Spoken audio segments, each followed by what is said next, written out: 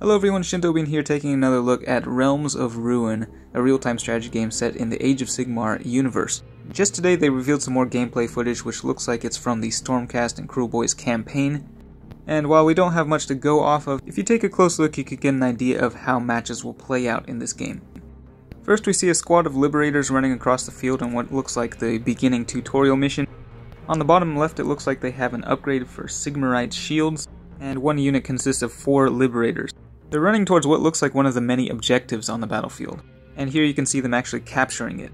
While we don't know the victory conditions for the battles in this game, it looks like map control is a key element to the gameplay, and it looks like once you've captured these points, you can build structures on them which serve different functions.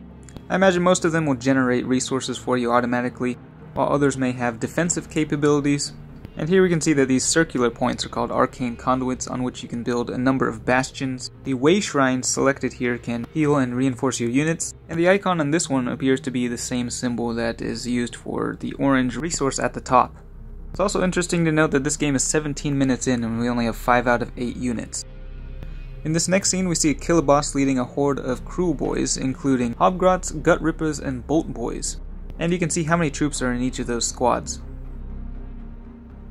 Here we get a closer look at the Gutrippaz who have the Scare Tactics ability, and as they engage the Liberators we can see a cinematic fight sequence. Over here we see some Vanguard Hunters battling over an objective, and a Knight-Vexillor fighting another group of Gutrippaz. So we do have single heroic units in addition to squads of infantry. In addition to melee units, we have ranged units like these Man-Skewer Boltboyz, who appear to have some sort of stealth ability, so they can sneak up on the foe, and here we can see them exchanging fire with some Vanguard Raptors before being blasted by a spell from our Stormcast hero. Over here we have the Beast Skewer Killbow, which on the tabletop is an artillery piece which excels at taking down monsters. Here we see it fire off a shot against some infantry. And this is the Marshcrawler Sloggoth, which we see casting a net, which ensnares and stuns a group of infantry. Here we see a squad of three prosecutors, which look like they have at least two upgrades or abilities Heralds of Righteousness and Celestial Barrage, and they fly across the battlefield before slamming down and knocking back some Gutrippaz.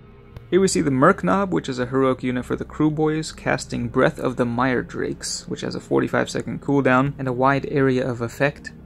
Nice looking animations for the abilities. And the last thing worth looking at is the mini-map, which you can see on the bottom right corner of the screen. And there are actually a number of different maps uh, throughout this video, so it looks like they took clips from several different missions, and you can see all the objectives and different icons for what I assume are different structures which you can build on those points. And there are red and yellow zones which indicate which area is controlled by which faction at that moment. So I like what I'm seeing here. I, it's really everything I expect from an Age of Sigmar RTS. Uh, there will be an open beta on July 7th through the 10th, so definitely looking forward to that and then uh, it sounds like they will be releasing more information uh, prior to that over the next few weeks. So keep an eye out for more info on this game, but let me know what you think. That's it for this one. Thanks for watching, and I will see you next time.